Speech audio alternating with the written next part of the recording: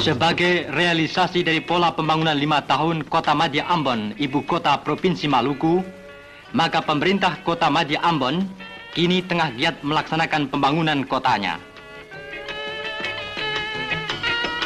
Untuk memperluas dan memperindah kota Ambon, oleh pemerintah setempat dilaksanakan pengeringan pantai Waihaong seluas 4,5 hektar dengan biaya sebesar 200 juta rupiah.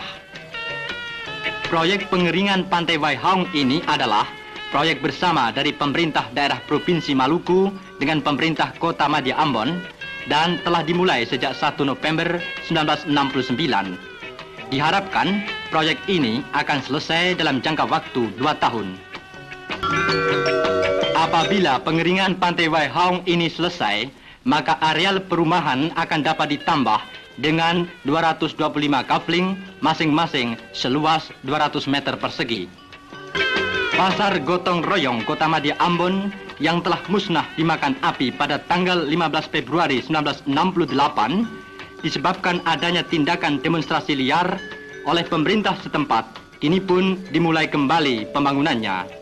Bangsal-bangsal tempat penjualan barang-barang kelontong, bahan-bahan sandang serta tempat penjualan sayur mayur dibangun kembali agar dapat segera menampung para pedagang yang selama ini berdagang di tempat-tempat terbuka.